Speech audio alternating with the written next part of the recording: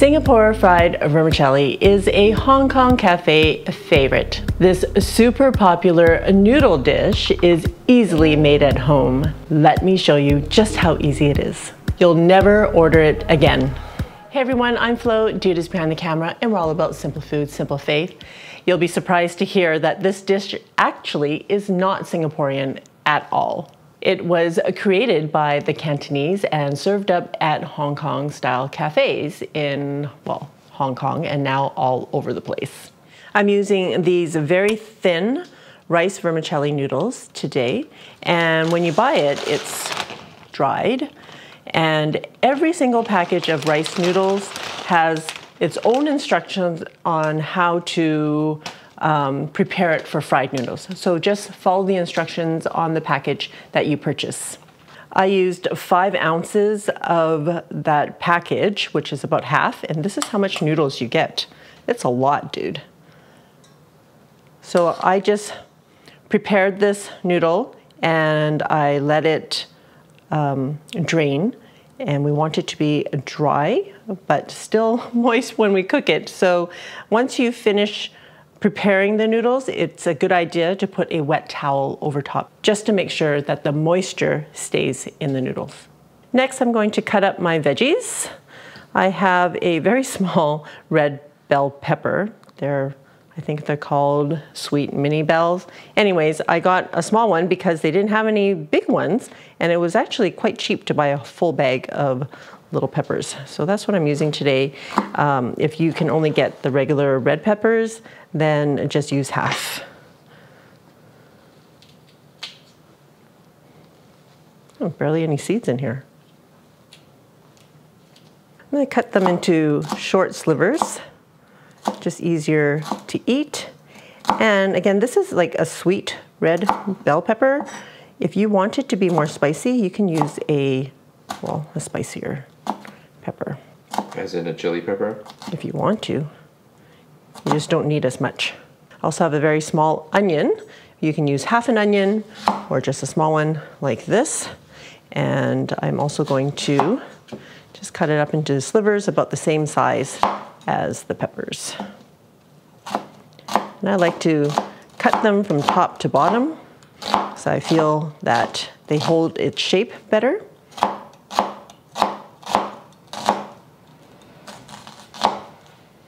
Have two cloves of garlic. You can add more or omit if you don't like garlic. It's totally up to you.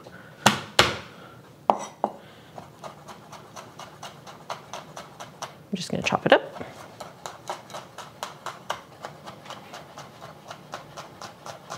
I'm using two stalks of green onion that I'm going to julienne, and you can cut them up however you want.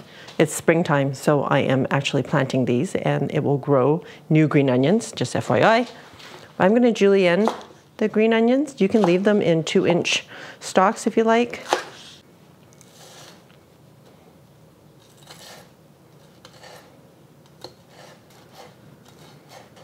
All right. I know that's a little bit more work than, you know, my usual can't be bothered self wants to do, but it's all about the mouthfeel and I don't like biting into big chunks of green onions, so I will take the time to shred that.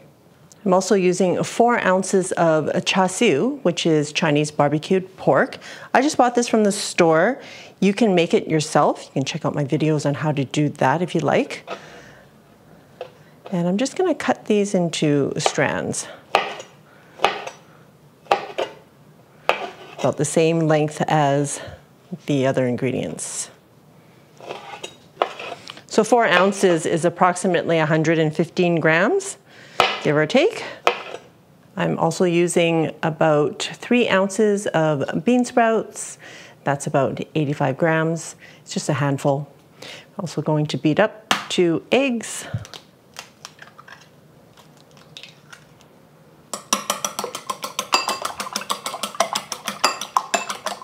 Okay, enough. The thing about a lot of Chinese dishes is it's a lot of prep work to begin with. It's not really a lot, it's just chopping up the things. But once you get all of your ingredients together, the cooking part of it actually goes by really fast. So I'm also going to prepare the seasoning so that I'm not measuring while I'm trying to cook. So I have half a teaspoon of just plain white sugar, about a teaspoon of salt. I'm just using kosher salt. About a quarter teaspoon of ground white pepper. And I'm just using this, well, it's an Asian special blend curry powder. Nothing super special about it, but I'm gonna use two teaspoons of this. That's the heart of uh, the flavor profile of this dish, really. Yeah, that's why the dish is, is quite yellow. So I don't know how yellow it's gonna be, but we'll see. I'm just gonna stir this up.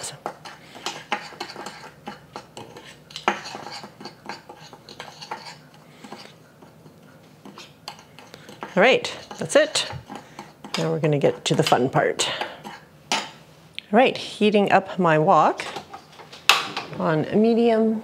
If you don't have a wok, you can easily use a large frying pan. Once you see that wisp of smoke, add about a tablespoon of cooking oil. Just going to spread it around a little bit. We're just gonna fry up our noodles a little bit. This just gives it a more toasty flavor.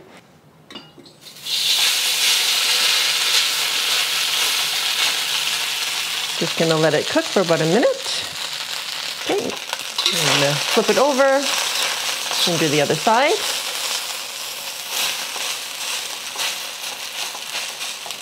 We just want it to be a little bit toasty.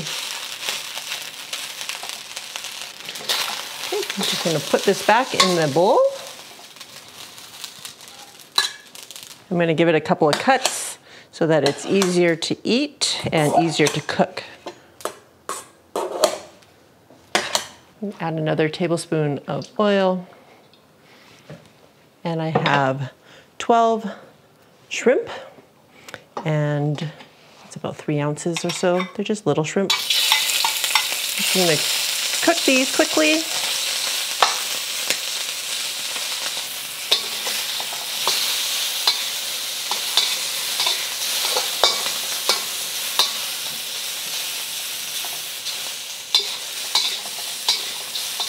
Okay, I'm just gonna remove these, put them in a bowl.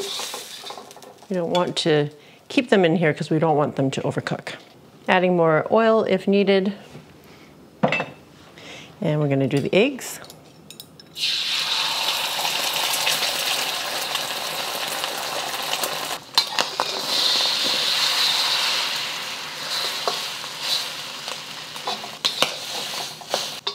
Okay, remove the eggs.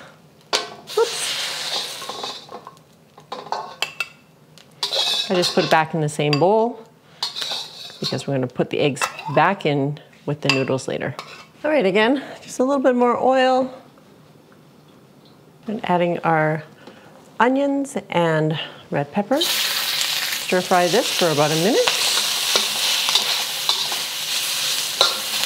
Adding garlic, cook that for about 30 seconds. Just until you start to smell the garlic. Adding the bean sprouts just for about a minute. Next, we're gonna add our barbecue pork. We just want the meat to be heated through.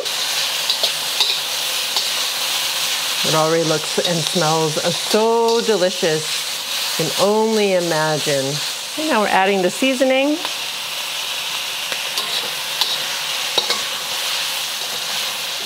Cook this for about a minute. Oh, if you thought the smell was amazing just before this, it's even more amazing now with the curry. Delicious. Now adding our noodles.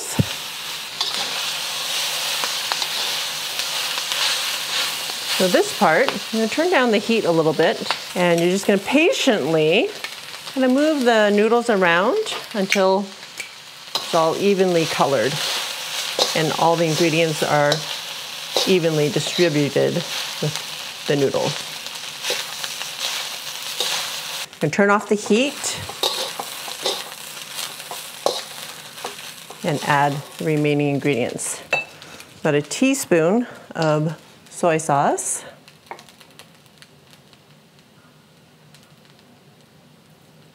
Mix that around.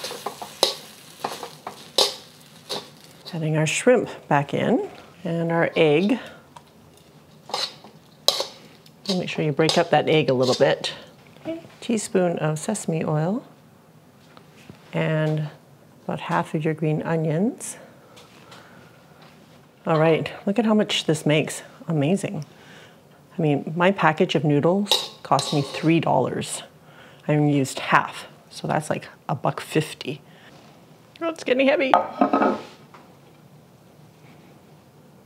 Okay, rest of the green onions going on top.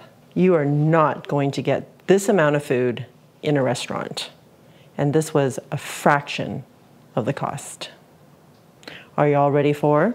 Yep. Oh yeah, the taste. This dish has nothing to do with Singapore or Malaysia. You know, you just get used to the flavors and the smells when you go into the HK cafes. And this is one of those gold standard dishes that you, you get in said restaurant. So when Flo was cooking it, the aromas and the colors and the texture, just, just looking at it, it's a visual feast. So let's get into this. And I personally like the restaurants that put like extra egg in there. So if you like it extra eggy, rock some more eggs. So good.